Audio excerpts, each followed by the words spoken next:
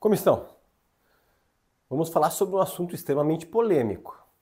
Vamos tocar em alguns pontos que talvez vai chatear muitos produtores de conteúdo, mas nosso objetivo aqui é trazer a verdade. O tema é sobre prata coloidal. Se por acaso você nunca ouviu falar sobre prata coloidal, fique até o final desse vídeo que vai te trazer informações valiosas, surpreendentes, impactantes e ao mesmo tempo vai quebrar muitos paradigmas. Eu sou o Dr. Fernando Lemos, eu sou cirurgião, eu sou coloproctologista das doenças intestinais e digestivas e eu te convido a se inscrever no nosso canal. Nosso canal chama-se Planeta Intestino, temos mais de 6 milhões de inscritos na atual data, somos um dos maiores canais médicos do Brasil. Só que tem pessoas que gostam dos vídeos, mas não são inscritos. É um prazer ter você conosco. Clica onde diz inscrever-se, é gratuito. E você vai ser avisado que nós estamos com publicações atualizadas como essa. E outro é um pedido. Se você puder fazer agora, eu te agradeço muito para não esquecer. Clica onde diz curtir, dê um like.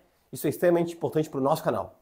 O canal é meu, o canal é seu. Você sabe que eu sou um dos médicos do staff do YouTube Health. O que isso aqui quer dizer? O YouTube escolheu no mundo alguns médicos com credibilidade para serem seguidos e com esse título YouTube Health. E o Planeta Intestino, através do meu nome, Fernando Lemos, fomos escolhidos. Ou seja, nós trazemos apenas informações com comprovação baseado na ciência. Inclusive, sobre esse vídeo que eu vou publicar aqui, na descrição do vídeo, depois você pode assistir, eu vou colocar referências, algumas poucas, tem milhares, do que eu irei trazer aqui sobre a prata coloidal. O que é a prata coloidal, para quem não sabe?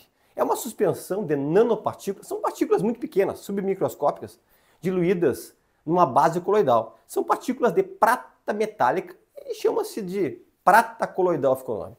Na verdade, nos últimos anos, nas últimas décadas, né, faz muitos anos, começou-se a falar muito sobre a prata coloidal. E nos últimos anos ganhou mais fama. Por quê? Qual era o, o ensejo que falava-se sobre a prata, dos benefícios? E que se você procurar aqui no YouTube, você vai ver quantos e quantos médicos, profissionais da área da saúde citando, e um fala o que o outro falou e isso vai seguindo. E aí eu disse comigo mesmo, não, vamos ter que colocar um, um basta nisso aí, vamos responder pessoas que estão me perguntando sobre a prata coloidal, porque diz o quê? Prata coloidal, ela tem poder o quê? Ela é antibacteriana, ela é antimicótica para fungo, ela é antiviral. Assista até o final do vídeo para não tirar falsas conclusões. Talvez se você parasse aqui, você ia tirar uma conclusão equivocada. Então, ela tem um amplo aspecto para matar micro-organismos patógenos. E aí começou a dizer que ele era bom para tratar AIDS. Porque é um retrovírus o causador da AIDS. Aí quando surgiu a pandemia COVID-19, SARS-CoV-2, surgiu o prata coloidal e a solução para o problema. Aí veio o tratamento para fadiga crônica, tratamento para doenças infecciosas das mais variadas, sinusite, infecção urinária, broncopneumonia, parasitoses, que é uma área da minha especialidade, a coloproctologia, que eu ensino, trabalho e dou muita aula sobre esse assunto. Esses, esses dias atrás vieram pacientes seguidores dizendo que um colega orientou usar prata coloidal para tratar doença hemorroidária para tratar acne, para tratar cansaços. Primeiro de tudo, primeiro alerta que eu vou passar para vocês como especialista. Qualquer produto, substância, remédio ou suplemento que é dito que é bom para uma série de coisas, abra o olho. Isso está cheirando enganação. É uma dica que eu já vou dar para vocês agora de antemão porque dificilmente um produto é tão amplo que pode melhorar uma série de problemas de patologias, senão ele seria um produto milagroso. E nós sabemos que não existem produtos milagrosos, existem estratégias de saúde para chegar num bem comum que é a cura e o bem-estar dos nossos pacientes e das pessoas. Aí começou em 1998 uma empresa muito conhecida da Flórida publicou uma propaganda dizendo: vamos acabar com os antibióticos. Antibiótico é um mal da humanidade. Vamos usar um antibiótico 100% natural, que não estraga o teu organismo? Vamos começar com a prata coloidal. Aí começou novamente a falar-se sobre prata coloidal. Aí eles começaram a dizer que a prata coloidal sufocava e matava qualquer patógeno, bactéria, vírus, protozoários, fungos, né? Ativava a reação enzimática deles que ia atuar sobre o organismo de seres humanos e depois eram excretados pelo sistema linfático, eram excretados pelo sistema imunológico e depois eram excretados por várias vias, inclusive as vias fecais e vias urinárias. Essa era a propaganda. Propaganda, teoricamente, que chega nos ouvidos de alguma pessoa leiga, ou até mesmo de médicos sem muito fundamento científico, que não são embasados na ciência, dizer: olha, que solução maravilhosa. E você nunca esqueça o que eu vou dizer para vocês. Nem sempre a maioria tem razão. Nunca esqueça disso. Né? Nunca esqueça, ah, a voz do povo é a voz de Deus. Isso aí não é verdade. Muitas vezes, no meio de uma multidão, a razão está com uma, com duas pessoas. Só que as pessoas não querem ouvir.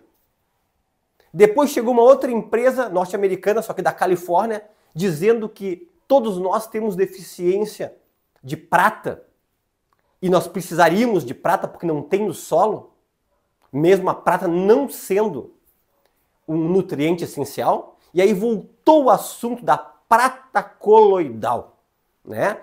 E aí tanto essas empresas começaram a explicar que a prata coloidal poderia ser usado topicamente na pele, que ia absorver para a corrente sanguínea, ou em forma de spray, ou até mesmo começaram a produzir algumas gotas para usar sublingual para absorção da prata coloidal. Essa nanopartícula de prata metálica com uma base coloidal, ok? Só que eu quero dizer para vocês que depois, quando chegou nos anos 2000, eu estou fazendo uma caminhada, porque Covid-19 já disse, Covid-19 começou em 2019. E aí voltou todo o assunto da prata coloidal e muitas pessoas propagando, muitas pessoas ganhando dinheiro com a comercialização da prata coloidal. Só que no ano de 2000, o FDA norte-americano, que é o que controla todas as medicações lá, aplicou uma multa milionária em 20 empresas que comercializavam e propagavam a prata coloidal, não só nos Estados Unidos, no mundo todo, mas que eram empresas norte-americanas. E ela foi banida de farmácias, de locais que vendiam a prata coloidal, ficou restrita para pouquíssimos casos com indicação médica e mesmo assim teria que passar por uma auditoria se algum médico prescrevesse o uso da prata coloidal. Aí depois você foi analisar o guia oficial de drogas desde 1975. Vou repetir, desde 1975 a prata coloidal não está dentro desta lista. Porque na verdade qualquer benefício já encontrado sobre a prata coloidal ou sobre os sais de prata não são maiores do que todos os riscos do seu uso para o ser humano. Todos os estudos científicos mostram é uma falácia. A prata coloidal causa muito mais danos para o organismo do que benefícios. Tudo é teórico, tudo é negócio do que estavam falando sobre a prata coloidal. Doutor Fernando Lemos, mas tem conhecidos pessoas famosas que falaram bem da prata coloidal, que estão nas mídias. Infelizmente, pessoal, eu sei que o planeta intestino é a pedra no sapato de muitos criadores de conteúdo e meu objetivo não é esse. O meu objetivo aqui é trazer verdades, mesmo que vai doer em algumas pessoas que não gostaram estamos falando. Sabe por que eu tenho tanta tranquilidade de falar? Porque eu estou baseado na ciência. Eu estou baseado em artigos científicos mundiais e sérios. Não estou baseado em opiniões, em hipótese alguma de A ou de B, ou de uma empresa A ou de uma empresa B. Existe uma coisa que começaram a observar de pessoas que usavam, utilizavam prata coloidal com o passar dos anos, chamado argiria. Argiria. Até a maioria dos médicos nunca nem ouviram falar. Isso aí começa a prata se depositar em mucosas nos olhos, na pele, começa a ficar mucosa, a pele acinzentada por causa do depósito na pele. Teve muitos estudos, inclusive um estudo muito interessante da Unicamp, que mostrou a relação da absorção da prata com lesões dos hepatócitos, podendo levar a hepatocarcinoma, que é o câncer do fígado. Outros estudos mostraram que pode ter lesão de células renais por causa da absorção de prata. Então, em hipótese alguma, eu recomendo para os meus pacientes, para os meus seguidores, que nós já estamos nos cinco continentes, o uso da prata coloidal. Pessoal, e eu preciso de vocês. Eu preciso de vocês. Eu sozinho não sou absolutamente nada. Eu preciso que tu compartilhe esse vídeo. Nós temos que ganhar o um mundo com esse vídeo, porque tem muita gente, desde que começou novamente a pandemia do Covid-19, que estão utilizando prata coloidal e não pararam, porque disseram, doutor, tem muita pandemia para vir pela frente, tem outras, tem outras uh, doenças que vão surgir, então eu já estou usando prata coloidal para me proteger. E estão causando danos sérios e graves para a sua saúde. Eu não posso deixar de avisar, pessoal, que eu tenho uma página no Instagram que é totalmente diferente dos conteúdos que eu trago aqui no YouTube e tem pessoas do mundo todo se beneficiando. Lá é dr de doutor, ponto Fernando, underline, aquele tracinho junto à linha, Lemos, dr.fernando, underline Lemos. E tem o selinho azul lá para mostrar que é a página oficial, porque infelizmente tem muitas páginas falsas do Dr. Fernando Lemos. Compartilhe esse vídeo. Se você não deu um like ainda, eu peço que você dê, porque isso aqui vai impulsionar o nosso vídeo para cair em mais pessoas. E até um próximo vídeo e fique com Deus.